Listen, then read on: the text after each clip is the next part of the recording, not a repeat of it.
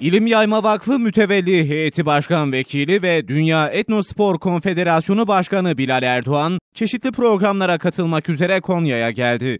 Ya Rabbi açılışını yaptığımız bu Önder İmam Hatipler Derneği'ni milletimize, memleketimize, İslam ümmetine, şehrimize hayırlı eyle ya Rabbi, uğurlu eyle ya Rabbi. Erdoğan, Konya Önder İmam Hatipler Derneği'nin açılışına katılarak yeni eğitim yuvasının millete hayırlı olmasını diledi. Hayırlı uğurlu olsun inşallah. Ya Allah, Bismillah.